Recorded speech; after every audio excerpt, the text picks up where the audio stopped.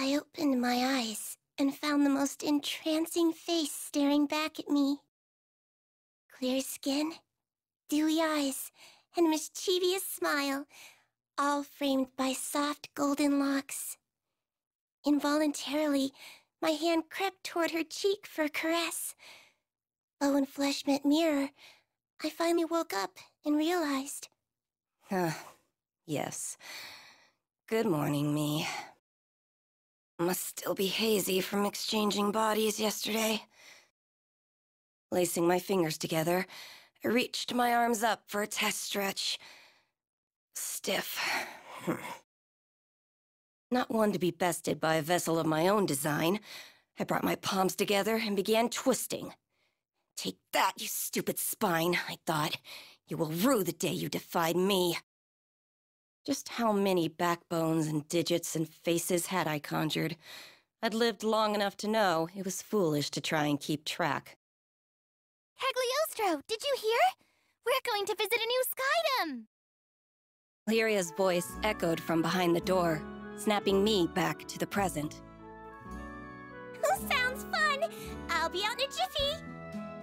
My voice was a weaponized rainbow, strategically pitched to invoke thoughts of hugs and sunshine. As the cutest girl in all the skies, no other tone would live up to my utter perfection. You see, it's a common myth that cuteness is in the eye of the beholder. But actually, as I have witnessed through my research, it is a fundamental law of reality. I quickly brushed my disheveled hair, minus one lock, as per the theory of adorable bedhead optimization, and went to the door. The crew would need me at my cutest if they were to survive an untrodden skydom.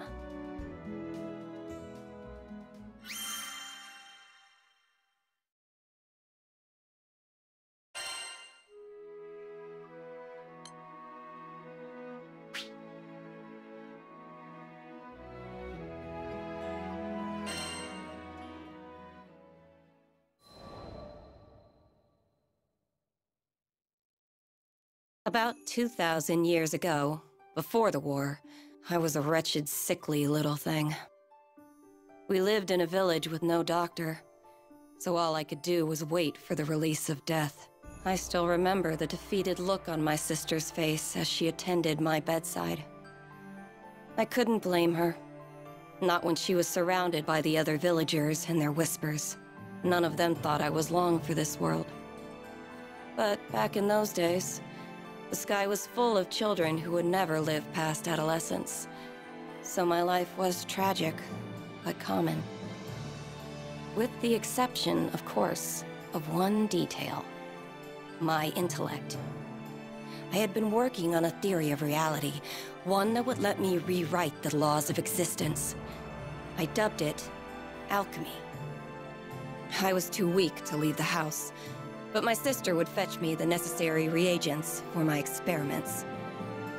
At first, each failure was more spectacular than the last. Creating a fully functional body from nothing but dirt and speculation was complicated. Instead, I focused on creating an ageless vessel capable of housing a soul. Hypothesis, test, fail. Hypothesis, test, fail. My pile of discarded monstrosities grew with each unsuccessful trial. But, finally, I succeeded in producing a small life form, no bigger than your average roach. Sure, a misplaced footstep would have killed the damn thing, but it was life nonetheless. And it was proof that I could achieve mastery over my own mortality. Now that I had more data, all it took was a few more months of testing, and voila! I had synthesized a flesh bag for myself. My soul was finally free to occupy a worthy form. Now, repeat this process a few thousand times, and my reputation spread throughout the skies, garnering love and admiration from the masses.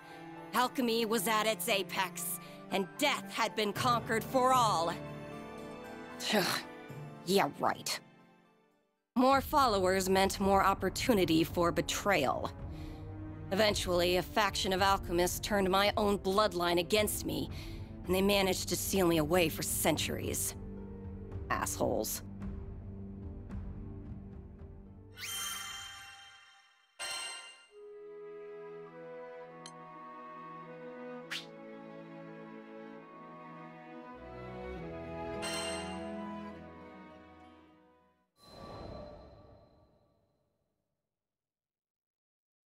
These magic prison stories always end the same way.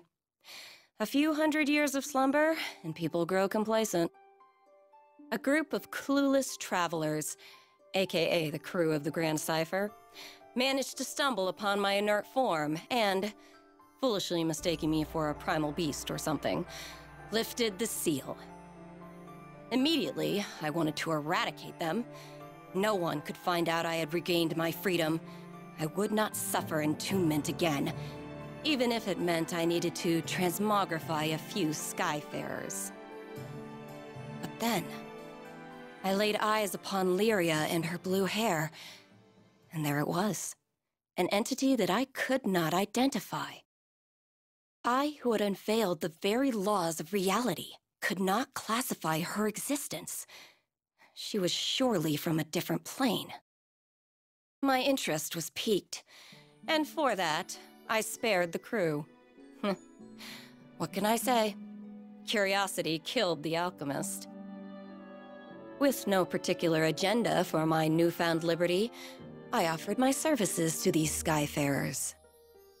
They would give me unfettered access to the girl, and I would give them unrestricted access to my findings. And as a bonus, I might save their asses a few times along the way. Of course, the captain readily accepted. Though I admit, there was something about the gleam in the captain's eye that caught my attention. What was so special, you ask? That's for Cagliostro to know and for you to find out.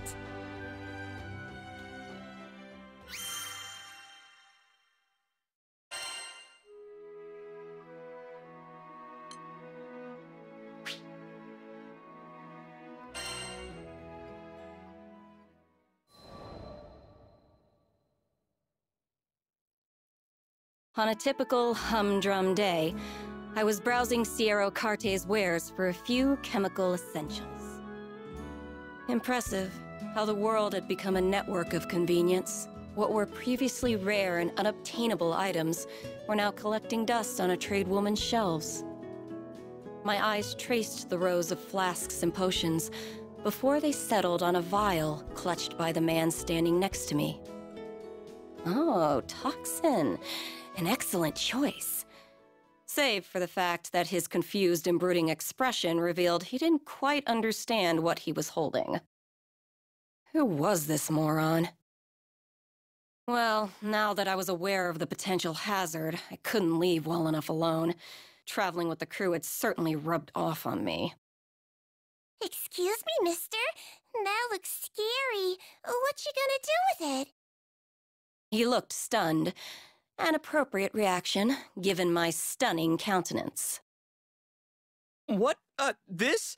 It's pigment. Needed for painting supplies. Oh, I didn't take you for a painter, mister.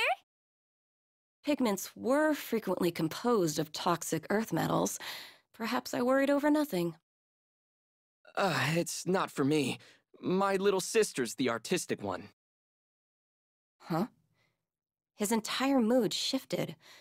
Tense shoulders relaxing and lips curving into a soft grin. It was nothing like a few seconds ago, when he seemed to be studying the pigment like his life depended on it. Perhaps he was a few rupies short. No, mental calculus doesn't translate to confusion. His look was more... concerned? Ugh, no. I'd seen that exact expression before. So what color picture will she paint? Cagliostro sure wants to see the final product. Um... Aw, pretty please. This is coming out of nowhere. What the hell? Did I not give him the world's cutest plea? How dare he refuse me? He will suffer for... But I guess it's okay. I actually have some free time now, if you're eager. There. That was more like it. Lyria, the captain, and I followed the man to his studio, listening to him jabber about his life along the way. His name was Heimel, and he had been living alone with his sister, Schnee, ever since their parents died when they were younger. Their life was simple, he explained. But a simple life was a luxury for some. Wait till you see! Schnee's paintings are breathtaking, and I'm not just saying that. The world needs her talent. He was alight with passion. A stupid smile plastered across his face. True pride in his sister's craft. As for me, art was too abstract. How would one tame the subjective? Bring order to chaos? There was too much I couldn't comprehend. Hmm. But was it not aesthetics that led me to understand and codify the deep mysteries of cuteness? Hmm, yes. Perhaps there was something I could learn from a craft as humble as painting. And thus, with the future of alchemy on my dainty shoulders, I pushed open the door to the studio.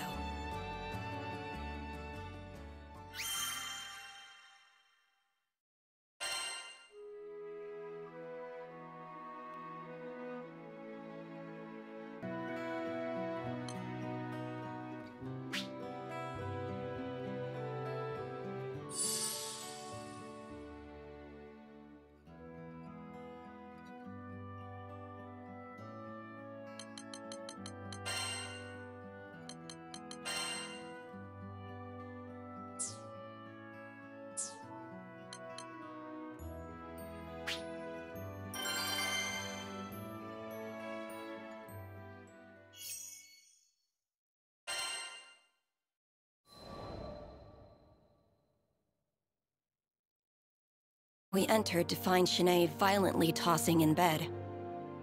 Heimel rushed over, grabbing a phial of healing tincture from her bedside. Hand supporting her shaking head, he poured the concoction into her mouth. Immediately, her convulsions lessened, but her breathing was still labored. It became clear why he was so antsy back at Siero's store. Toxic pigments could be dangerous in even the most steady of hands, and... well, I glanced down at Schnee's fingers, trembling on her bedsheets. Pressing forward, I gave her a cursory examination. Normally, I don't afford peons the luxury of my intellectual evaluation. But I was feeling generous. These symptoms are grave. Do you know what's the matter? Lyria's voice quivered with worry. I do. I've seen this exact disease once upon a time. Heimel's eyes shot to me, propelled more by hope than surprise. Truly? The local doctors have been useless. They just give her pain relievers and leave. Can you do something? As much as I wanted to refuse, in that moment, Heimel's desperation reminded me too much of my own sister. I'm not a medical professional. Sure, I know a formula that might ease her symptoms, but it's not a permanent solution. Not to mention the biggest pain in the ass, tracking down all the components. Please, you're all we've got.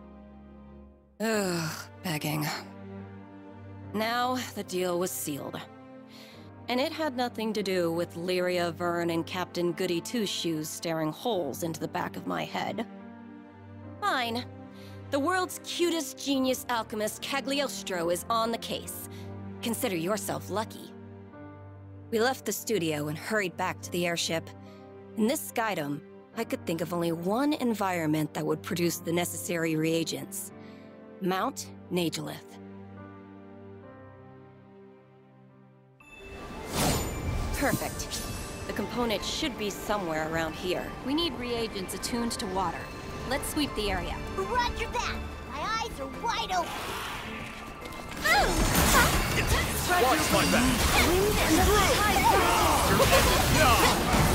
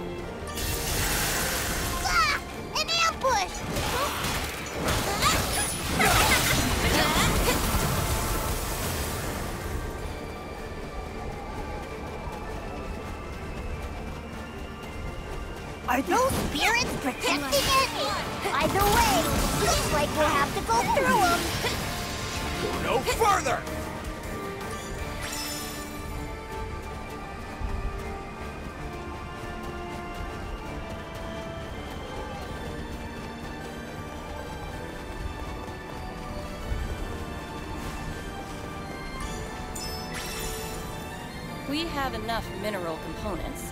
Next up, we'll need crystallized Cygateers. Zyka, those flapping eyeball creatures? I think I saw some further up ahead.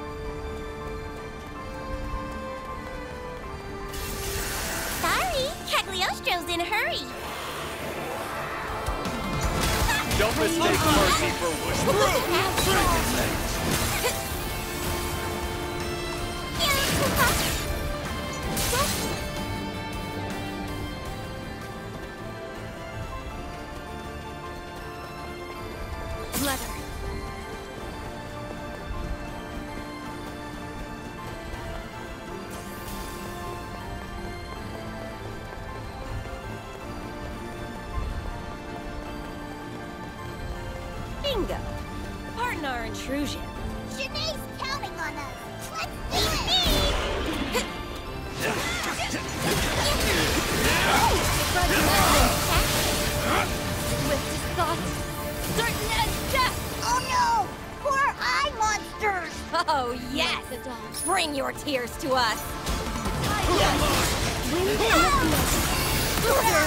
Know you should. This is power! Annihilate! Wise back up! Okay.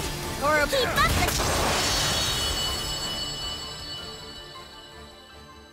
the... Cagliostro wins again! so, did we get the tears? Of course we did. I even had time to distill them. Mm-hmm. Score a big one for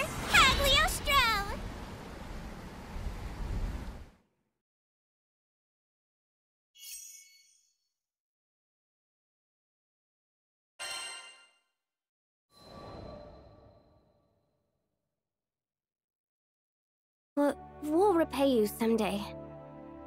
The moment the potion reached Schnee's stomach, wariness melted from her frame. That medicine will only temporarily stop your symptoms. They'll be back if you don't treat the root of the problem. Still, peace is priceless, no matter how brief. Schnee was not the only one feeling more relaxed. With tensions eased, I decided it was time to explain Schnee's condition, Lycerian fever syndrome. It was an autoimmune disorder of the nervous system caused by irregularities in the body's ley line structure. Common side effects included reduced function of the lower extremities and unrelenting fevers. Development occurred in the embryonic stage, a defense against the mother's own ley line system, interpreting the fetus as a foreign object. Of course, the prescribed painkillers and fever reducers had not been effective. They could not treat what was essentially a natural function of Schnee's body. Mm, but the formula you made for us, i- it suppressed her symptoms, didn't it? Sure, but suppression isn't treatment. And besides, there will be unfortunate side effects if she uses it over a long period of time. I'm just sorry I couldn't make you a true cure. Please don't apologize. I feel like I've reclaimed a part of my life thanks to you. Brave little thing. She had done nothing to earn her lot in life, but suffering claimed her all the same. though the world was built upon fundamental truths. At times, I felt as if I understood nothing about it.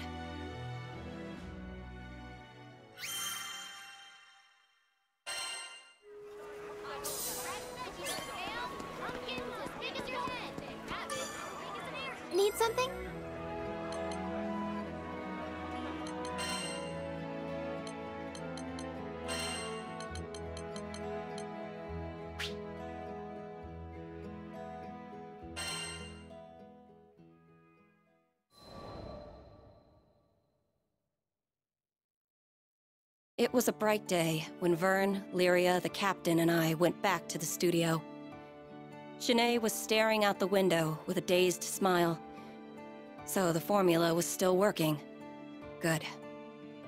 Crazy how you invited yourself to the studio to see my sister's paintings. And now you're her personal pharmacist. Serendipity's funny like that. Hmm. If you feel like repaying me, how about you finally cough up some art and show me around? That's a fair price. Everything in the studio was painted by Schnee. Feel free to get close. Admire the details. Previously, I had managed only a distracted glance at the studio's walls. But this time, I saw visual creativity exploding off them. I wasn't an expert on art, but even I felt the vibrant energy bounding from her drawings. Powerful, powerful pieces swirled around me like a hurricane. And one painting in particular, it was resonant. Sketches were littered about the floor, too. And even they were filled with vitality. How could such a feeble body muster such vivid work? Oh yeah, about that pigment I bought when we met. Want to see it in action? Taking the vial from a shelf, Heimel poured the pigment into a dish and mixed it with oil. A few swirls later, and the color had transformed in a way that was more chemistry than alchemy. Intriguing. Takes a specialty product to make that hue. Heimel smiled and handed the freshly prepared paint to Schnee, who was already mid-painting. A bead of sweat trailed down her brow as she swabbed the tint across her canvas. I believe in Schnee's talent. Look at her. She's amazing. I just have to get the world to recognize it. It's nice having a supportive sibling. I meant it. I never know how to read your tone. But, well, her condition made me realize how precious our time together is. Heimel, who clearly had never known abundance, smiled like the richest of merchants. Though Schnee had been left with a raw deal, it was clear her life wasn't without meaning. If only I could go back and tell my own sister. You were my courage when I was weak. You were my light when I was in darkness. I have lived through eons, but you were my rock.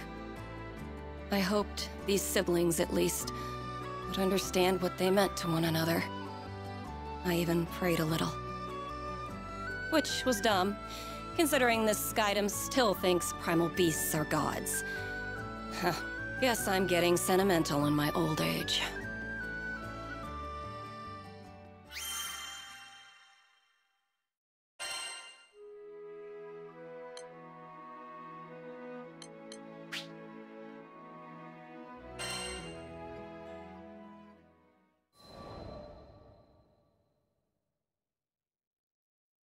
Lyria and Vyrn became a regular fixture at the studio. They said they wanted to be there when Schnee finished her latest piece. I felt much the same.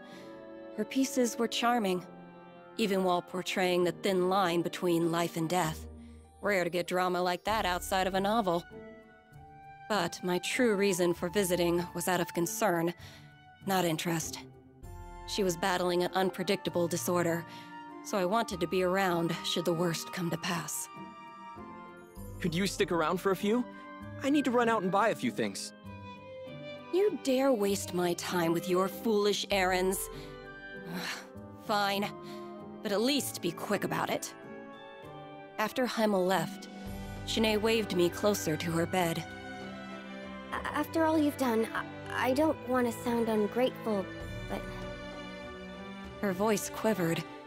She was plainly troubled. I don't know if I can say this. wow. Okay, I, uh.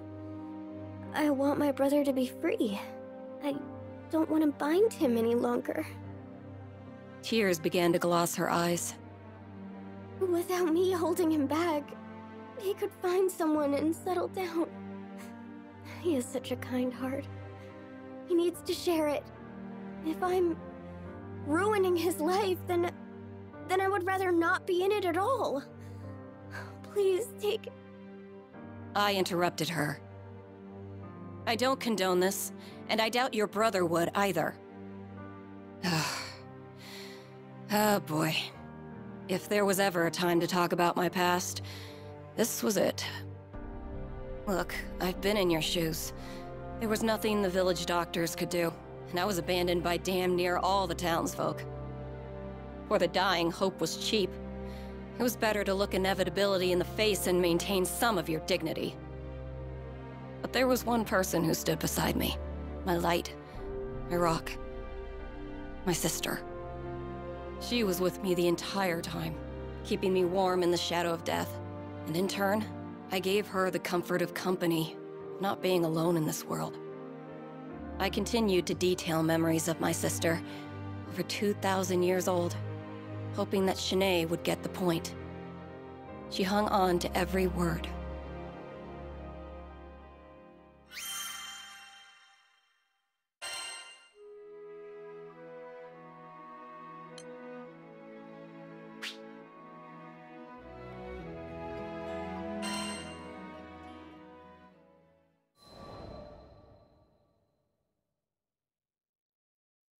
When I concluded my story, to my disappointment, Schnee seemed to pick up the wrong message.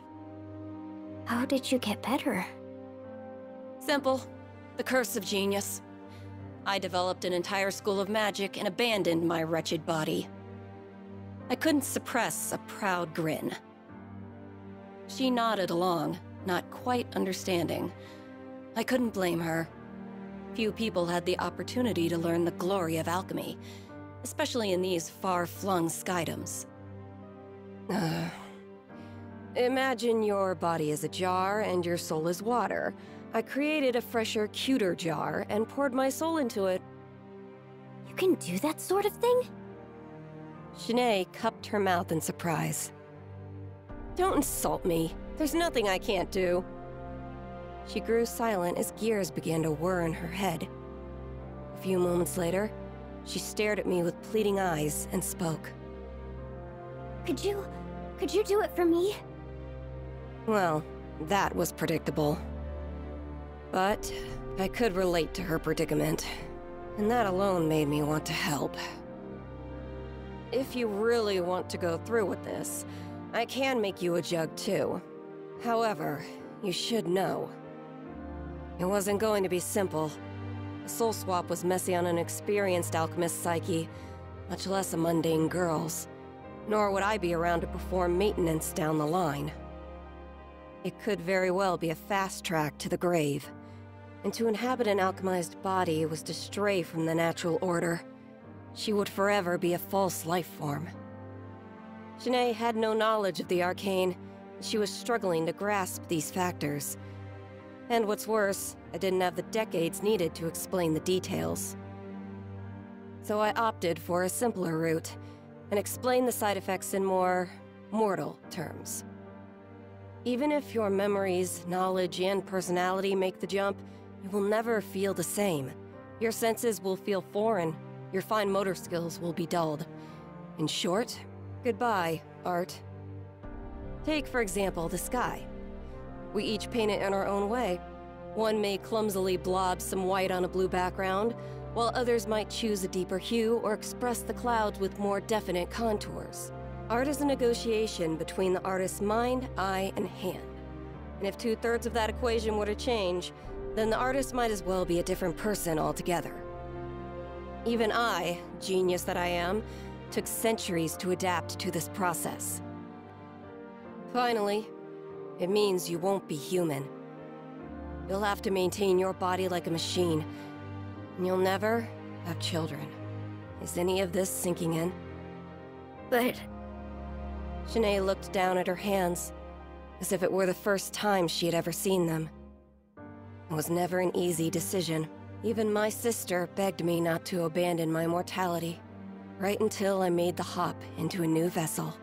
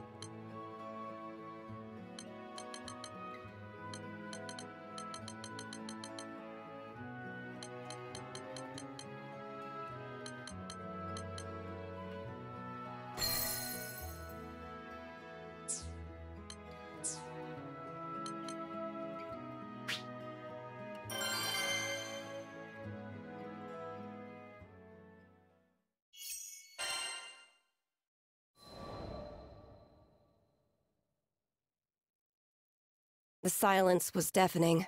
Schnee was considering her past and what abandoning it would mean for her future. I observed her until I grew impatient. There's no reason you have to make up your mind now. As long as you found an answer before we sail out of the skydom, I can help you either way. Capiche? I turned to leave, causing the bedridden girl to lunge after me. I don't care about losing my art. If it will free Heimel to live his life, then my choice is clear. Her tears were pierced by a genuine smile. She bore the pain of losing her creative soul and the joy of gaining a liberated brother. Even with my infinite understanding of the universe, I could not say which of those emotions was stronger.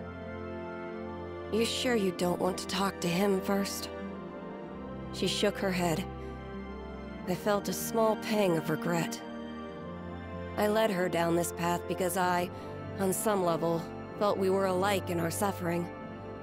But the truth was, I had an, I won't say easy, easier way out. The same solution applied to Schnee's problem would be far more complicated. If anything, I felt like I understood Heimel's position more. He would simply want what was best for his sister. Just like how my own sister had wanted what was best for me. After leaving the studio, I made a list of all the materials the procedure would require. It was going to be a pain in the homunculus to gather everything, so I enlisted the crew to help. I had my sights set on the Pillar of Vayoi. Due to the high concentration of arcane energy, the materials found there made for powerful alchemical reagents. Wait till you see! Schnee's paintings are breathtaking, and I'm not just saying that. The world needs her talent. Curse that proud face of yours, Heimel. Look what you've made me do.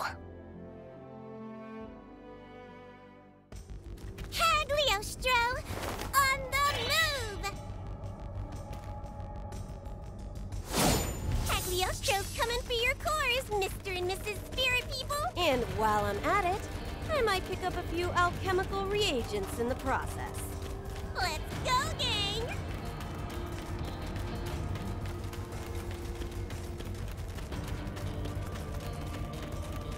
Great. This won't help anyone.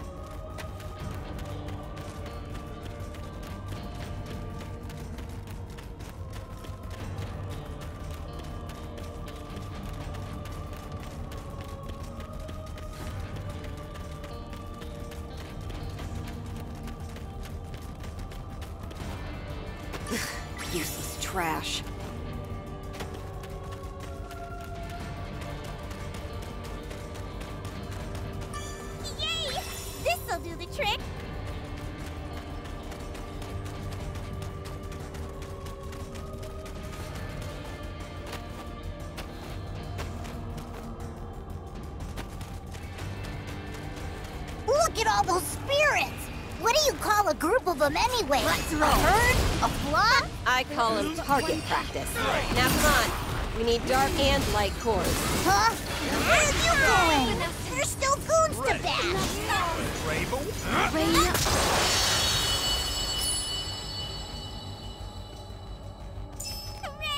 Find your skeepers!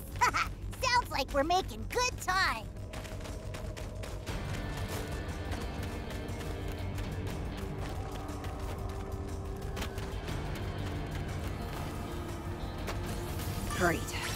Won't help anyone.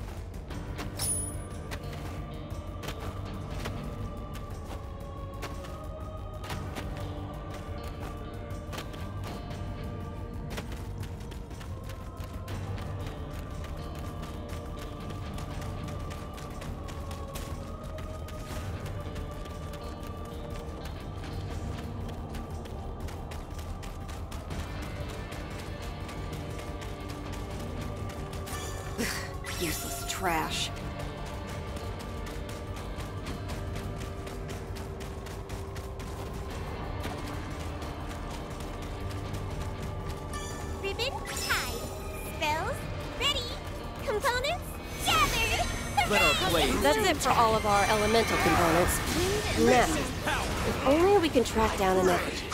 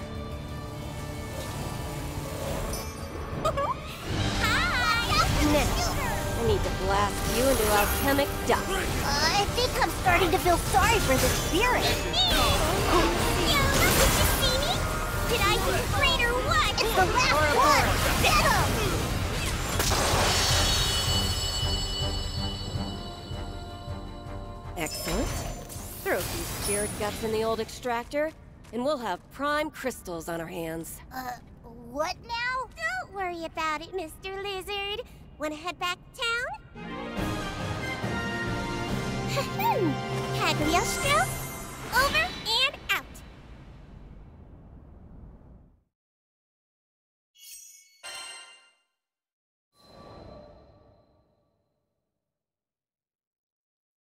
When we returned to the studio, Heimel was a flustered whirlwind. Schnee told me everything. Please, we refuse to let you change her body. We were shocked to hear his refusal. Well, Vyrn and Lyria were. I had been expecting it. I'd like to hear the reason from her mouth. She's the one suffering, after all. What right do you have to speak for her? He grimaced. Schnee has dreamed of being a successful artist ever since she was small. Even after the fever started, she's put her entire soul into her art. And finally, In his fervent voice, you could hear how long he'd been supporting his sister, praying for her success. And now, after years of hard work, she'd made it.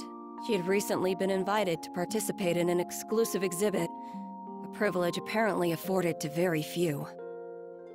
finally, Schnee will be recognized for her talent. If we throw away her chance now, what will that mean for her future? Or her legacy? I wasn't sure whether he was gritting his teeth or his fists tighter. Schnee's been waiting so long for this. Why add this darkness to her life now? Because you deserve to live your life too, Heimel. Brother and sister stood opposed, on opposite sides of their future. I've never thought of you as a burden.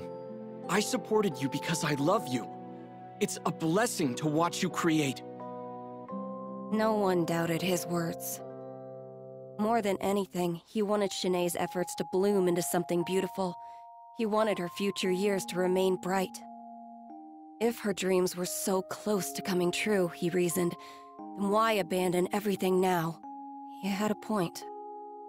But he'd never been in Schnee's position before. I had. And I knew what needed to happen this time.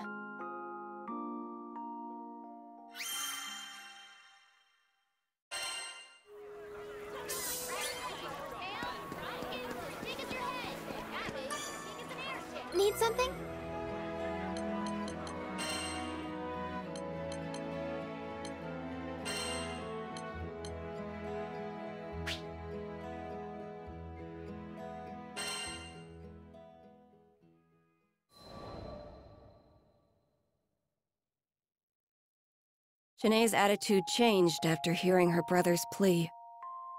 Cagliostro, forgive me. I was selfish, looking for a quick fix. But now, I know I should face this disease and live my life the way I meant to. Figures. You needed time to process your options. Actually, that was the reason why I asked Heimel about his objections in front of Schnee. She needed to hear his part. We're sorry for wasting your time. We know it wasn't easy to gather all those components for a new body. New body? Hmm. Doesn't ring a bell.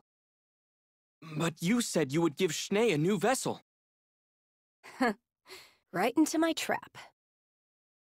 I reached into my pocket and pulled out a bottle of pills and a note, handing them to Schnee. I present to you my genius medicine for slowing the progress of Lyserian fever syndrome. I calculate it's three times more effective than the previous tonic. Not hard to manufacture either. I'll give you the recipe. Stop by Siero's sometime, and she'll help you fill it within two to three business days.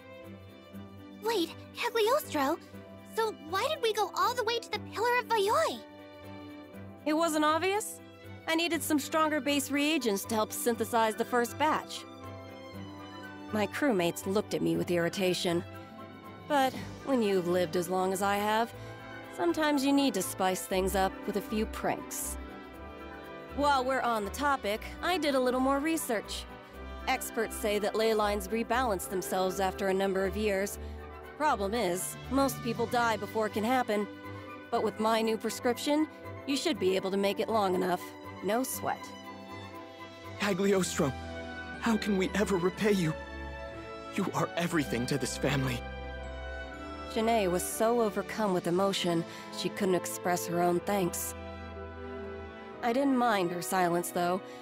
Excess sentimentality always spoiled the mood. We had more important topics to discuss anyway. Right, so about payment. The founder of Alchemy developed a new medication specifically for your family. That's gonna cost ya. Heimel swallowed, readying himself for the worst. I'm a fool. You're absolutely right. We don't have much in the way of money or valuables, but we'll do whatever it takes to... I think there's been a misunderstanding. You don't get to decide my reward. Are we clear? Schnee and Heimel both nodded in fearful silence. Ah, seeing harmony restored to the studio was a wonderful feeling. I even allowed myself to bask in memories of my sister as a treat.